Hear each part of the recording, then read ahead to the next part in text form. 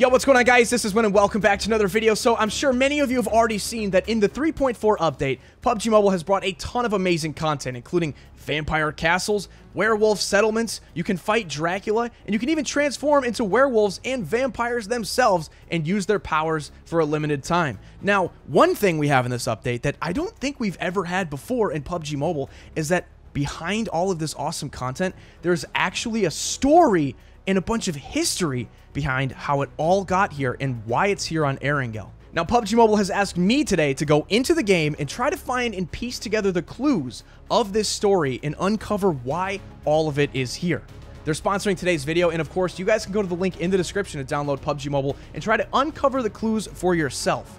Now, where we're going to start is, of course, jumping into a match. Let's see if we can go around these settlements in these castles and find some clues and piece it together about what's going on in this update. Also, real quick, if you guys want to skip over the hunting for clues and get right to the good part, I'll put timestamps on this video so you can go right to the main story at the end of the video.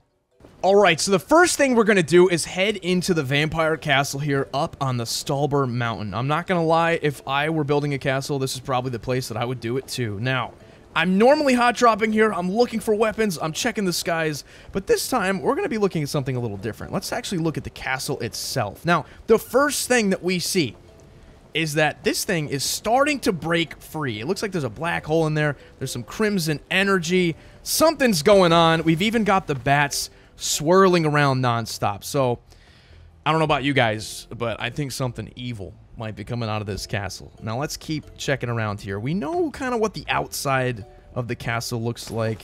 Maybe this is where the villagers lived. We definitely have some chests and some loot. We have some statues here too. So obviously, if I had to guess, I do think that this is probably Dracula's lair. But what's interesting is that he's not home. So he's clearly not here. So we have to figure out exactly where he went or what happened to him. And why nobody's home. Yeah, see, there's that crimson power. It's starting to get even crazier here. Looks like there's even some of these crimson, like, crystal fragments around. We know that we can find those around the map, so maybe that's actually where they come from. Now, I'm sure there's going to be a lot of clues here on the inside of the castle. There are so many different rooms, and this is one of the biggest hot drops that we've ever had. Now, clearly the very first thing is we've got the throne. It's standing tall here, and uh, this definitely looks like this is Dracula's throne we have even more rooms on the side of the castle. We've got like the kitchen, the dining room. There's a lot going on. But if we go upstairs, I think we start to get more into Dracula's like personal quarters. Hmm, and it looks like there was uh, something going on in this room for sure. We've got all the chairs. We've got kind of maybe some of that crimson energy is like inside of this bowl here. Now, one of the rooms that I spent probably the most time in, and there's always a lot of fights breaking out in here, it's this room right here. And I always thought it was like a library. It looked like bookshelves. But now that I'm like really finally getting a good look at it, I think this is more than a library. This almost feels like a laboratory. Especially this. What do we have going on here? I'm not sure what Dracula was up to, but this looks, um... We should probably remember this room. This seems kind of important. Alright, I'm to go up to the throne and see if we can do anything here.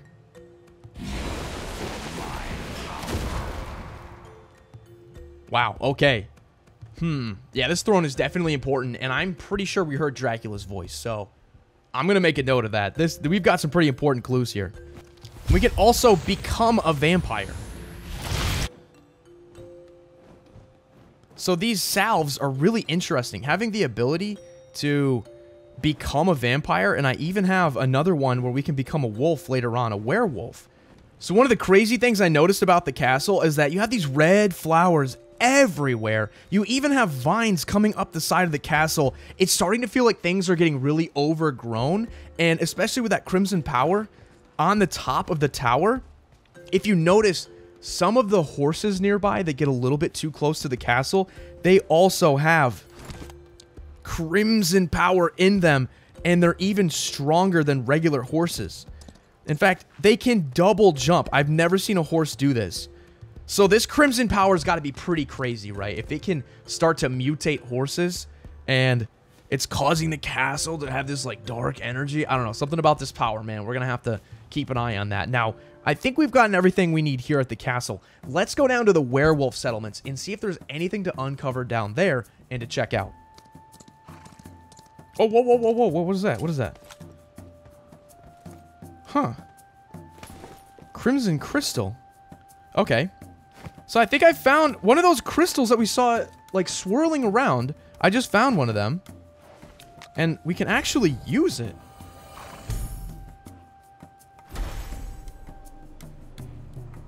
Okay. Oh, yeah, we have a challenge button. Okay, I don't know if I want to go into the uh, super creepy red mystery portal. But let's see what it is. Oh, nice. This looks nice. Oh, oh, Dracula appears in five seconds. Um, help? Oh, no, oh, no. What have I gotten myself into? Oh, no. No, I am not prey, and I do not smell. Oh, jeez. It's time for your sacrifice. Nope, I'm good. I'm not, you know, I'm not gonna sacrifice anything, big guy. Whoa, whoa, whoa, whoa, whoa, whoa, whoa, whoa, whoa, whoa, whoa. No, no, no. Okay, hey. Um, uh, yep. Okay, I think, you know, it might just be time to see ya. Okay. That could have been bad. So, that was Dracula. I don't know why he's like in an alternate dimension. Interesting. I guess we found him. He's not at the castle anymore. Uh, he's... Maybe he's trapped? I don't know. Do we want to help him get out? I don't think we want to help him get out, but either way, we're almost on our way to a wolf settlement. So let's go check that out and see what's going on down there and see what's happening in uh, Werewolf World. All right, here we go. This is looking a lot different from how the vampires used to live. But this is still pretty interesting. Getting kind of like some Viking type of vibes. This is interesting. Okay, so let's see. First up, looks like we've got a lot of like wooden buildings. A lot of, definitely a lot of wolf stuff, as you'd expect. Feels very like spiritual. And first up, right off the bat, we have this massive statue. It's either honoring werewolves or maybe like one particular werewolf. And there's a lot going on. I'm actually seeing some beams of glowing light, too. Let's go investigate that. Oh, I found another Crimson Crystal. No, we are not. We are not going back in there. All right, it seems to be the longhouse. And we have a huge tree over here, too. That looks cool. Oh, look at this. So we have werewolf spirits. I wonder if we can, like, communicate with them. Maybe, well, what if I tried becoming a werewolf? I mean, we're at the settlement. Maybe we become a werewolf. So we also have the powers of wolves that have been created in these salves as well, but we don't know why. And we don't know where the werewolves went. But maybe we can ask their uh, their spirits. Hey, where'd you guys go? Where are all the where are all the werewolves? Oh, what's oh, what's that? Did you guys see that? Like a spirit went kind of into this house. I see another one over here. Let's let's maybe check this out. Okay. Let's see where does this one go? Oh, oh, this goes towards that tree. Okay. Nice. This tree looks crazy cool. Okay. There's a third one. We've got to be getting pretty close. Let's check this out. Like, what's going on? Interesting. Another big wolf statue. Wolf spirit soothe. Okay, there's another Oh, I see a purple beam of light now. Okay. Success. Enough wolf spirits have returned. Okay, so the wolf spirits have returned. Maybe they were lost. Let's check this out. Whoa!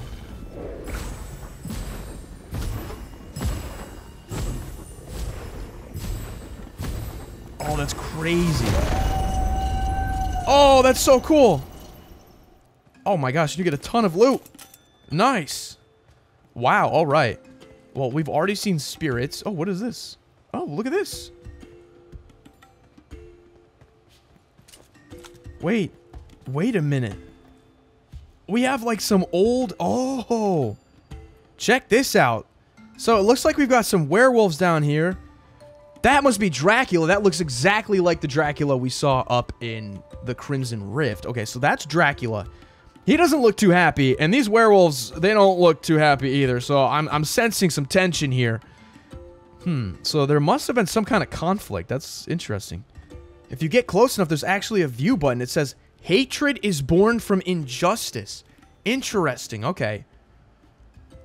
So definitely these guys were not getting along. And there was some kind of injustice. So maybe these werewolves were getting attacked. Or, or even worse, by Dracula. We then have another one here. So it looks like we got the werewolf and the human. But this looks a little more friendly. It looks like a handshake. The light of the alliance breeds hope. There we go. Okay, so now we've got an alliance. So we had an injustice and hatred. Now we've got an alliance, but humans are brought into the mix. Okay. Do we have any more? Oh, yes. Okay, now we have another one. Now, like, humans and wolves, we see their backs. They're facing Dracula. So, this might be that alliance we were talking about. The alliance and the resistance. Retribution of blood and bone. Interesting. Okay, is there one more? Yes, there's one more. Okay, these guys down here, it looks like they might be, like, cheering, like, yeah, and I don't know, Dracula is looking like uh, looking like he's getting put in a spin cycle, man. So maybe he's getting uh, that that red rift. That looks a lot like the crimson rift that we went through when we found him.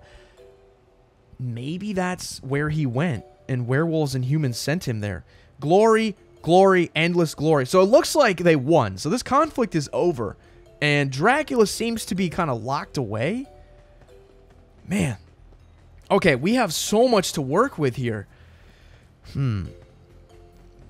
So all in all, we've seen there's been this crimson power. Dracula's missing from his castle, but he, he had laboratories and all this crimson stuff going on. We actually found a crystal. We went to the rift. We saw him, and then we come here, and it looks like there was some kind of conflict a long time ago, and that's kind of how it ended, was Dracula getting banished in glory, glory, all this glory. So let's see if we can put all these clues together and see if we can uncover this story. So I'll, I'll be right back. I'm going to go think about this for a minute.